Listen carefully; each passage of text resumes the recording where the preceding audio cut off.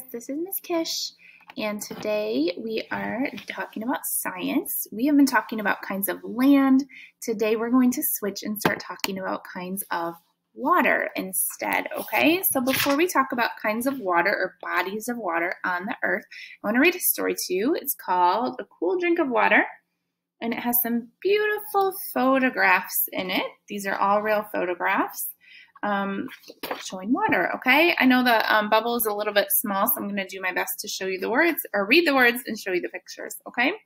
Somewhere right now, someone is drinking water. Water is very important to us, isn't it? We have to have it to be alive. Scooped from the river.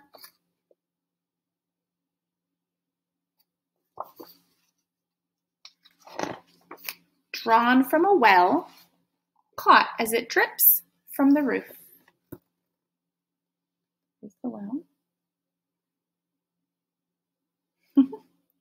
Holding it the wrong way, sorry. From fountains.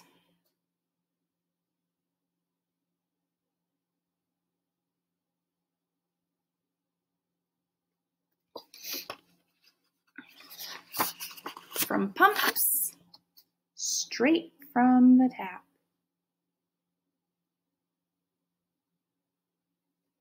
I'll make a separate video of this and put it in the read aloud folder too so you can see it better, okay? Stored in the shade in cool clay pots, chilled in a pitcher of ice.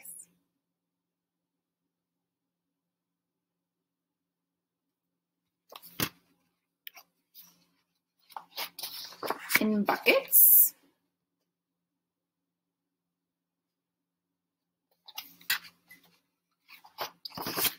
brass pots,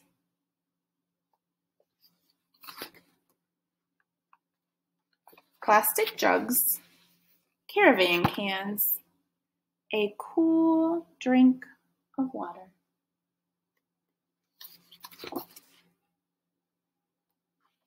Squeeze from a bottle or a burlap bag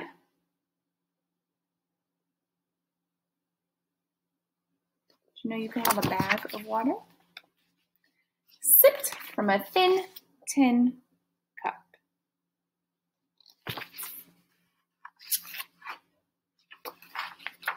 Shared in a family, shared with a friend, a cool drink of water.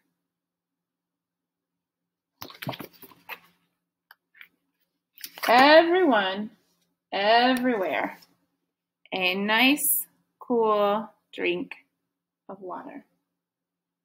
It doesn't matter where you live, right? Everyone needs water to survive. Water is very important. So we're going to start talking about some bodies of water, okay, kinds of water, kinds of water that we find on the earth. Okay, so the first body of water that you can see here is a river. Come on. Oh, no, no, no. Hold on, friends. There we go. There we go. Is a river. Rivers are a body of water that are flowing. The water is flowing and it's flowing downhill, right? It's flowing from higher land to lower land. It doesn't always have to be much, much lower. It can be just a little lower and the water will flow down. All right. Um, we think of rivers as being maybe um, skinny. They can be winding or straight. The water is finding the easiest path to flow downhill. Okay. Um, rivers have fresh water in them. Um, can you think of any plants or animals that might live in a river? I'm thinking of turtles. I'm thinking of fish, maybe frogs. Um, there's definitely usually plants maybe along the sides of rivers because they can get their water from the river, right? This river right here, this is the Red Cedar River. This is in East Lansing, and this is at Michigan State. So that's a river, right? And then this other river, um, I'm not sure which river this is, but it's a nice picture from above. And you can see how rivers can be winding, right? And they're flowing. The water is flowing and moving. All right, so when we think about rivers, we're going to use our arm and we're going to kind of do back and forth waving like this, like a river is flowing, the water is moving. okay? Okay, the next one is a stream.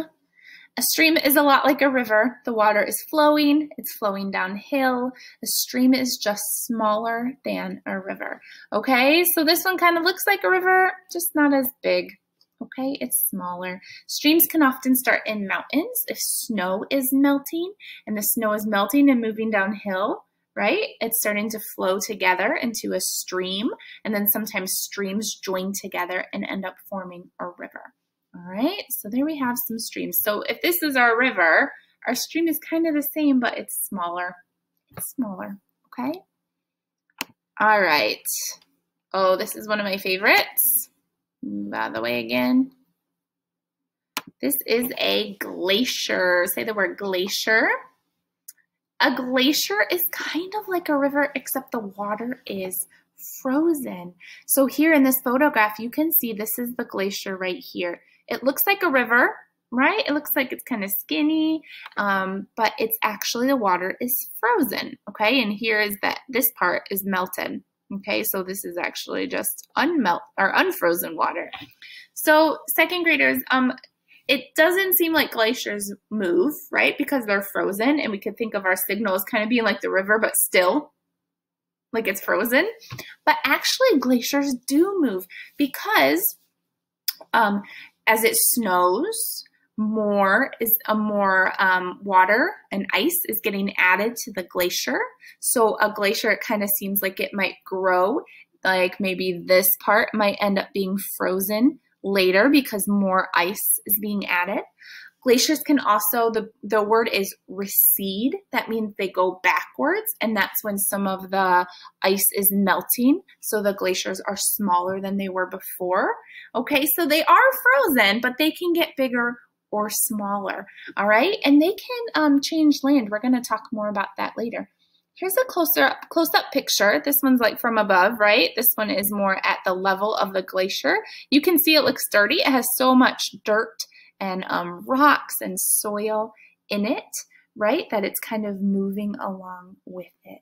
So this is a glacier. So we kind of do a river, but it's still okay. Even though we know glaciers can get bigger or smaller, they are frozen. So they're a little bit different from a river. Okay, let's go to the next one. Oh, now we have the ocean.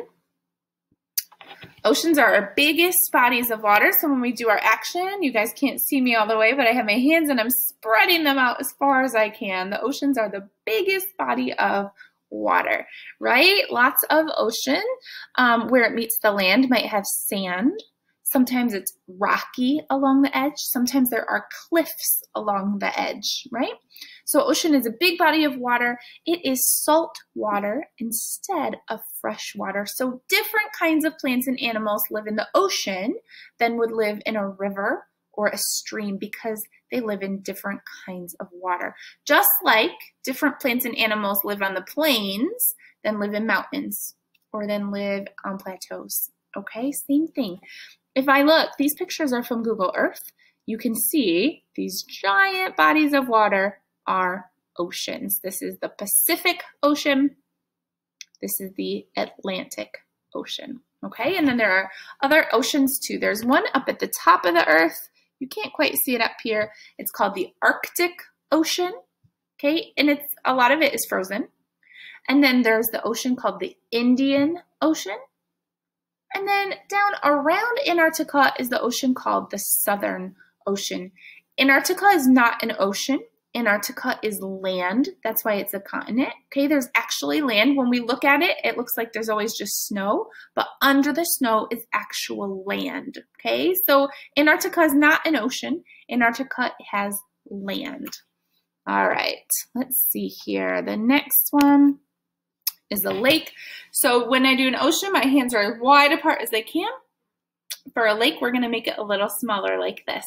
Okay, a lake is not as big as an ocean. We know there can be some very big lakes, like the Great Lakes. Like Michigan is a very big lake, but it is not as big as an ocean. Okay, Lake Huron is a very big lake, but it is not as big as an ocean.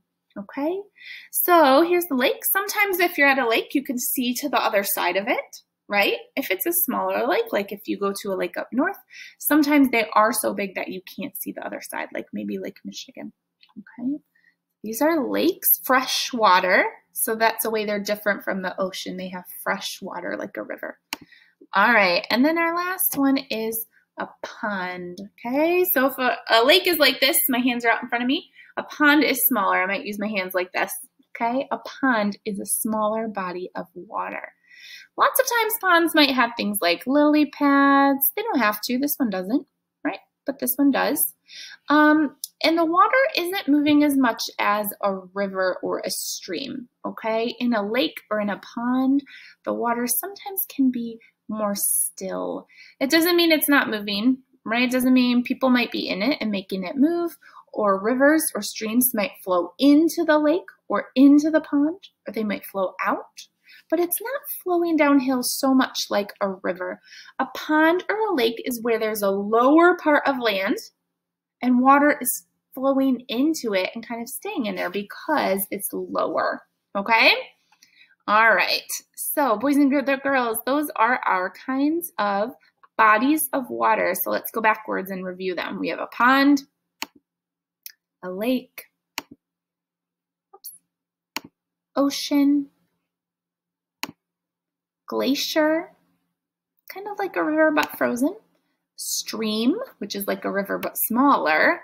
Often we have those in the mountains, and a river. All right? Good job today, friends.